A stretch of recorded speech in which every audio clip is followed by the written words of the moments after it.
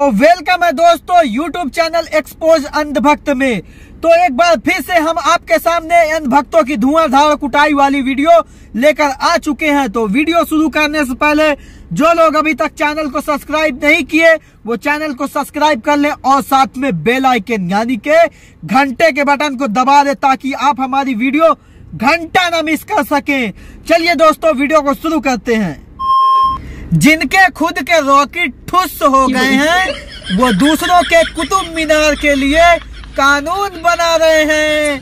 योगी and ढोंगी जी जब अपने हैंडपंप से पानी ना आ रहा हो तो दूसरे किसी का समरसेबल नहीं बंद करवाया करते। फ़सल खराब हो जाती है। हाँ नहीं तो ये उत्तर प्रदेश के गंजेड़ी टकले। साइंस में कितनी तरक्की कर ली है, बोलो देखो। इतनी तरक्की, अरे वाह भाई, बात सुनो, अब क्या तरक्की की है। ये बोलता है, साइंस में मेरे को बहुत पता है।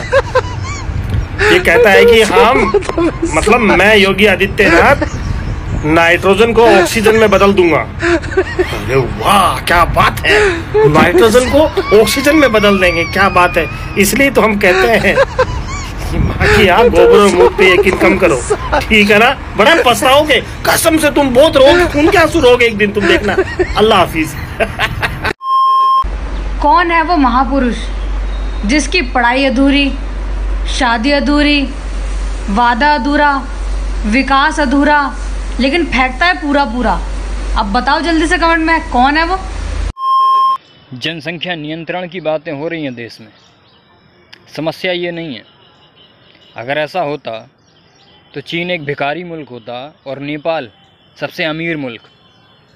समस्या ये नहीं है, समस्या तो ये है कि खुजली कहीं और हो रही है और खुजाया कहीं और। ये भारत है जनाब, यहाँ पर ऊँट बेसलरी पहचान लेता है। लेकिन अंधभक्तों की अनभक्ति का ये आलम है कि साले अभी भी गधे को नहीं पहचान पा रहे साले चमन चूतिया जाहिल कहीं के गुफा के पैदाइश कहीं के। अस्सलाम वालेकुम भाई लोग, आप सभी को ईद मुबारक। और ये तस्वीर देख रहे हो? ये कहीं और की तस्वीर नहीं है हमारे यूपी की तस्वीर है। वो पुराना यूपी है और नीचे जो है ना, वो नया यूपी है। अब आप लोग ये मत कहना कि नहीं, ये दुबई है। आप सभी लोगों से रिक्वेस्ट है भाई लोग। और ये हमारा नया यूपी है भाई लोग। बाकी आप लोग समझदार हो। क्या यूपी यार गजब यूपी बना दिया ना? वीज़ा लेना पड़ेगा लोगों को यूपी में घुसने के लिए। पिछले दिनों आप लोगों ने एक न्यूज़ सुनी होगी कि उत्तर प्रदेश को भारत की नंबर एक की स्मार्ट सिटी का दर्जा दिया गया। मैंने उस पर एक वीडियो भी बनाई, जिसे आप लोगों ने बहुत ज़्यादा पसंद किया। उस वीडियो में मैंने ये बताया था, उत्तर प्रदेश के अंदर बनारस को सबसे ज़्यादा हाईटेक बनाया गया है। लेकिन अभी जो मेरे पास न्यूज़ आ रही है, वो ये है कि बनारस दूसरे नंबर पर है। पहले नंबर पर गोरखपुर है। तो आइए, उत्तर प्रदेश की सबसे ज़्यादा हाईटेक सिटी गोरखपुर आपको लेकर चलता हूँ। ये तस्वीर देखिए। जैसा कि आपने बनारस में देखा होगा कि बनारस में कॉलोनियों के अंदर स्विमिंग पूल बनाया गया है। लेकिन गोरखपुर के अंदर योगी जी ने सबके घर के सामने पर्सनल स्विमिंग पूल बना के दिया है। दूसरी तस्वीर देखिए। आपने बनारस में देखा होगा कि पानी में चलने वाली बाइक बनाई गई है, लेकिन गोरखपुर में पानी में चलने वाली कार बनाई गई है। तीसरी तस्वीर देखिए। आपने बनारस में देखा होगा मेट्रो चलने वाली है, लेकिन गोरखपुर में बुलेट ट्रेन चला दी गई है। तो ये उत्तर प्रदेश की सबसे ज़्यादा हाईटेक सिटी गोरखपुर थी। यहाँ पर घूमने के लिए मात्र एक हज़ार टिकट लग रहा है। तो जिस किसी को घूमने जाना है, वो किंग मिर्ज़ा से संपर्क करे बुकिंग चालू है। वफादारी में अभी कुत्ते दूसरे स्थान पर हैं। पहले स्थान पर अंधभक्त आ गए हैं। पेट्रोल 110 हो गया है, सरसों का तेल 225 हो गया है। लेकिन अभी भी कह रहे हैं, हमें तो लेना है मोदी जी का ही केला। क्यों बे अंधभक्तो साले चमन चूतिया जाहिलो। भारत के गद्दारो। कैसे हो सालो? उत्तर प्रदेश के माननीय यशस्वी सीएम योगी आदित्यनाथ जी। आपसे एक बात कहनी है। आपने कहा है कि दो बच्चों पर सुविधाएँ मिलेंगी सरकारी, तीन बच्चों पर सुविधाएँ छीन ली जाएँगी। यानी कि दो से अधिक होंगे तो सरकारी सुविधाएँ नहीं मिलेंगी। तो मुझे ये बताइए, क्या एक महिला एक वक्त में, क्या एक ही बच्चा पैदा कर सकती है?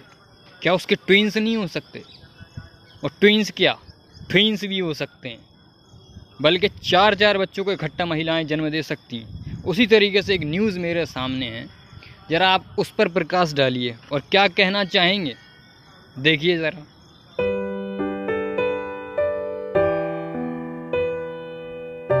योगी जी के कानून के मुताबिक अब ये कांस्टेबल कांस्टेबल तो रहेगा नहीं, जबकि ना इसका, ना इसकी पत्नी का इसमें कोई दोष नहीं है। क्योंकि इसने घोर अपराध किया है ना, तीन बच्चे। कब तक करोगे जुल्म श्रीमान बस करो, वरना कहोगे तुम भी मुसलमान बस करो। दुश्मन कहेगा देखना हाथ अपने जोड़कर अंग्रेज़ जैसे कहते थे, सुल्तान बस करो। हट जाओ रे, आगे से हट जा, बुलेट ट्रेन आ रही, बुलेट ट्रेन आ रही है।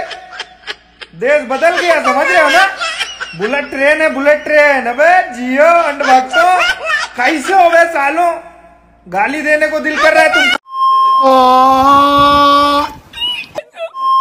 झूठ की दुकान सजाए बैठे हैं, हिंदू को मुस्लिम से लड़ाए बैठे हैं, और खुद को देश का चौकीदार बताने वाले देश में ही लूट मचाए बैठे हैं। पचपन साल से खुद को कुंवारा बता रहा था। फिर पता चला कि शादीशुदा है, और सात साल से खुद को चौकीदार बता रहा है। और फिर पता चला साला चौकीदार ही चोर है। और पाँच साल से खुद को हरिश्चंद की औलाद बता रहा है। और अब पता चला साला जासूस भी है। वाह मोदी जी वाह। गजब के टोपी बाज बैठे हैं यार। जिन बच्चों का दिमाग का विकास बचपन में नहीं हो पाता वो बड़े होकर अंधभक्त बन जाते हैं। अंधभक्तों की कमाई का ज़रिया। आज मैं तुम्हें रियलिटी बताता हूँ अंधभक्तों की। कमाई का। नागपुर से 20 पैसे में ट्वीट उठाते हैं और यूपी में दो रुपए में बेच देते हैं। क्यों बे अंधभक्तों साले चमन चूतिया जाहिलो। मोदी जी का भाषण ही मोदी जी का शासन है। उन्होंने सारा समय सजने संवरने में ही वेस्ट कर दिया। जब पूरा दुनिया कोरोना से लड़ने में लगी हुई थी, तब मोदी जी थाली और ताली बजवा रहे थे। क्या लॉकडाउन चुनाव के लिए हटवाया गया है और अमित शाह जी की रैली के लिए। देश में कोरोना के पेशेंट बढ़ रहे हैं, दिन पर दिन। और मोदी सरकार ने अपनी सारी ज़िम्मेदारी राज्य सरकार के सर डाल दी है। मोदी जी ने तो कह ही दिया है कि आत्मनिर्भर बनो। मतलब अपना अपना देख लो। और भक्तों, खुश हो जाओ। तुम तो पार्टी करो। वर्ल्ड में नंबर वन पे आ गया है हमारा इंडिया। भाइयों, बहनों और उनके बहनों तुम लोग कहते हो मैं बीस बीस लाख का सूट पहनता हूँ। तुम लोग ये क्यों भूल जाते हो कि मैंने तुमको भी पंद्रह पंद्रह लाख की टोपी पहनाई है? क्यों बैन भक्त? साले चमक चुतिया जाए लोग अच्छा आप लोगों को भी तो ये न्यूज़ मिल गई होगी कि उत्तर प्रदेश भारत की नंबर वन स्मार्ट सिटी है। जब मैं ये न्यूज़ देखा ना तो बड़ा आश्चर्यचकित हुआ। सोचने पर मजबूर हो गया कि आखिर ये अवार्ड मिला कब, किसको मिला, कहाँ मिला, किसने दिया, किसने लिया, दूसरे नंबर पर कौन आया? कुछ नहीं पता। जब मैंने इसकी पड़ताल की तो सोशल मीडिया पर मुझे कुछ तस्वीरें मिली। उत्तर प्रदेश के अंदर बनारस एक शहर है जिसको मोदी जी ने कहा था, हमारी सरकार बनेगी तो हम उसको क्योटो बना देंगे। तो वहाँ की कुछ तस्वीरें मेरे पास आई जो है, यकीनन जो है मोदी जी ने स्मार्ट सिटी बना दी है। ये देखिए, ये सबके घरों के सामने स्विमिंग पूल बना दिया गया है। दूसरी तस्वीर ये देखिए, जो है पानी में चलने वाली बाइक भी बना दी गई है। तीसरी तस्वीर आप स्विमिंग का भी मज़ा ले सकते हैं, जो देखिए मोदी जी हमारे स्विमिंग कर रहे हैं। तो ये कुछ तस्वीरें थी।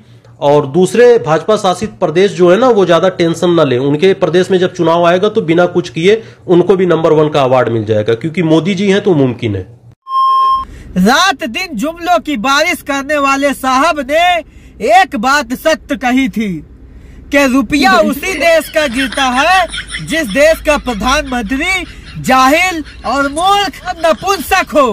पैतीस रुपए पेट्रोल की चाहत में सरकार बदलने वाले नमूने। आज 111 रुपए प्रति लीटर पर चुप हैं। कुछ नहीं बोल रहे। इसे ही इतिहास में अंधभक्त कहा जाता है।